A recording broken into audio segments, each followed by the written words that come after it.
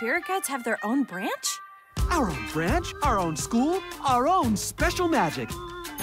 Not anyone can be a spirit guide. Here, let me break it down for you. Let me teach you about some creatures in the spirit tree. They're the few, the proud, the savvy spirit guides like me. See, we watch over the people in the human world, overseeing the well-being of every boy and girl. First, we study with a buddy at Chanul School. Learn the lessons, don't be messing around or playing the fool. A set of magic stripes. Then we're off to give advice to all you human types. We are not seen or heard, but you feel every word. We're like the voice inside that helps you to decide. When you dream at night, we're there to steer you right. We're always on your side, cause we're your spirit guide. Look, they're off to help their humans. Ooh, homework trouble. Fear of heights. Fell into a pit of snakes! Oh,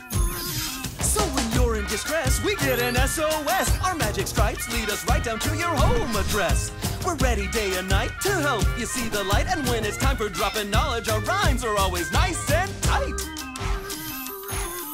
Astronomy problem solved. Climbed her first ladder. He's alive! Whew, that was a tough one. Cause we're not seen or heard,